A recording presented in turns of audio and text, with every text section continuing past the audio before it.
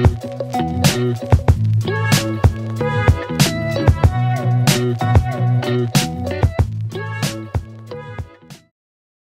okay guys, welcome back. Dan sekarang kita lagi ada di Indramayu, Jawa Barat. Nah, sekarang kita lagi ada di final round Sprint Rally Championship putaran ke-6. Dan hari ini practice day. Jadi kita datang hari Kamis, Jum besok Jumat untuk shakedown. Kamis itu practice day. Jumat uh, shakedown juga plus crew. Uh, kita ada survei juga buat SS1, SS2 dan SS34. Lalu weekend seperti biasa buat main day-nya. Jadi tim di belakang udah prepare untuk practice day hari pertama. Tadi kita lihat beberapa teman kita udah mulai practice. Nampaknya surface-nya lumayan licin dari aspal-aspal sebelumnya. Dan yang seru lagi di track ini kali ini dia ada di sebuah stadion kayak sebuah sport center gitu. Jadi kita akan bermain di parkirannya. Tapi kita akan juga keluar dari stadion menuju jalan raya. Jadi kita balapan kali ini lewatin jalan raya. Ini seru banget karena besok gue pengen tahu gimana bentuk layoutnya pas kita survei dan pastinya crowdnya di Indramayu untuk final round ini gokil jadi let's check it out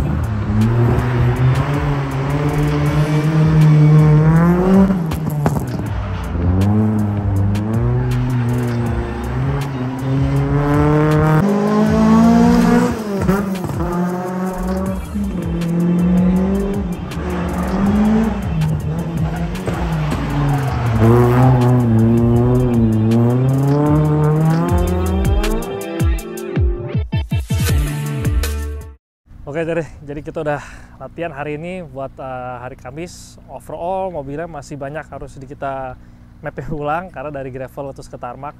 Tapi overall tadi kita juga nyoba ada tracknya. Well kondisinya track yang kali ini lebih kayak ke aspal yang lama nggak dipakai buat kegiatan otomotif ya. Jadi si debunya itu ngumpul banget di beberapa sektor dan terutama yang patah-patah ya. Jadi mobilnya tuh overspin banget dan harus cari traksi yang bener. Nah kita agak struggling buat nyari si suspension setupnya karena yang kita mau berkali-kali di sini kita ngerem terus sempat glosor terus kita udah dapat traksi depan untuk belok belakangnya salah posisi jadi akhirnya uh, spin gitu jadi harus bener-bener main cantik banget jadi besok kita lebih fokus lagi buat surveinya lebih bener lagi pace note kita mantepin lagi uh, breaking point breaking pointnya lebih detail teliti lagi karena di sini banyak high speed entry terus braking. Nah di braking zone ini kadang-kadang nggak terlalu bagus si surface ya. Jadi kita tinggal lihat besok.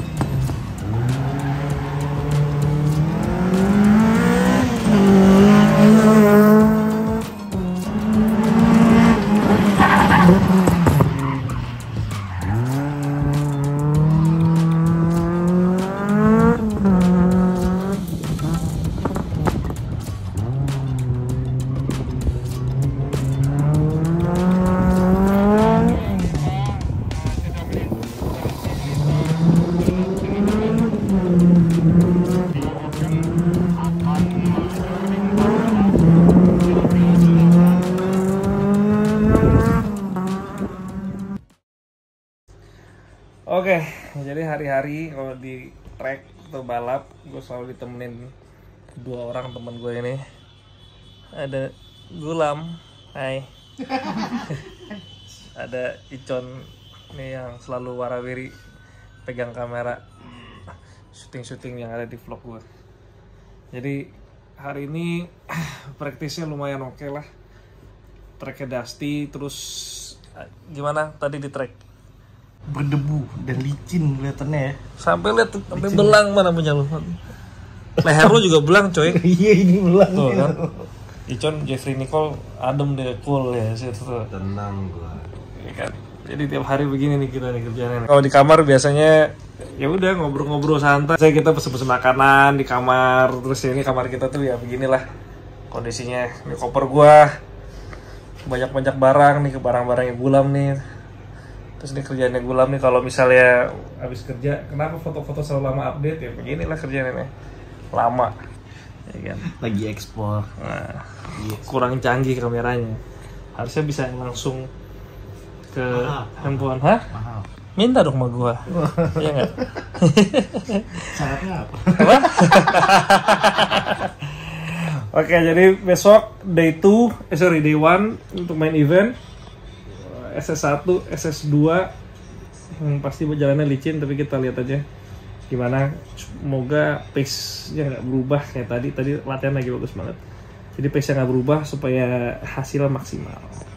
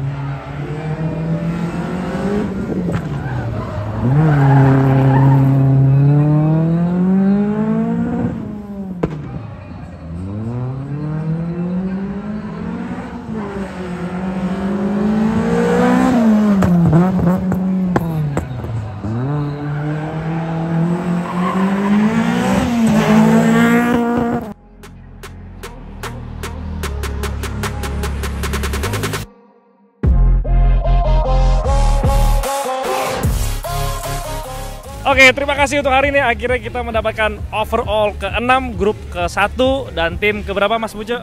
Tim pering, eh, BBG ASRT peringkat kedua, ASRT peringkat keempat. Jadi kita masuk top 5 di eh, kejuaraan tim. Dan juga di J kita menang, eh, kita dominasi di J, dan di grup R kita juga menang, Menang. ya kan? Jadi hari ini ini closingannya sangat indah. Akhirnya kita bisa meraih posisi yang sesuai diekspektasikan. Terima kasih juga untuk ASRT yang udah support kita hari ini. Terima kasih juga Pak Manajer gua. Gio, congrats buat Gio. Pokoknya terbaik lah driver gue ini. Semoga tahun depan kita makin aksi. Amin. Oke. Kita tunggu kejutan berikutnya. Oke, see you guys.